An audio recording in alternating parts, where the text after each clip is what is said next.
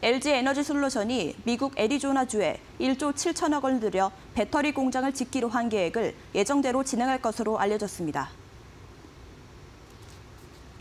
재계에 따르면 LG 에너지 솔루션은 미국 애리조나주 단독 공장 건설 계획을 기존대로 추진하는 방안을 검토 중인 것으로 전해졌습니다. LG 엔솔은 이르면 이달 말 또는 내달 관련 내용을 공시할 예정입니다. 앞서 올해 3월 LG 엔솔은 애리조나주 퀸크리크에 연간 11기가와트시 규모의 원통형 배터리 신규 공장을 짓는다고 발표했으나 지난 6월 관련 계획을 전면 재검토한다고 밝혔습니다.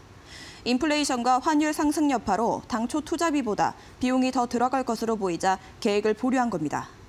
그러나 최근 미국의 인플레이션 감축법 시행 등 여러 투자 환경 변화를 고려해 기존, 기존 투자 계획 이행을 검토하는 것으로 전해졌습니다. 미국 애리조나주 역시 LG 엔솔에 적극적인 투자 러브콜을 보내고 있습니다.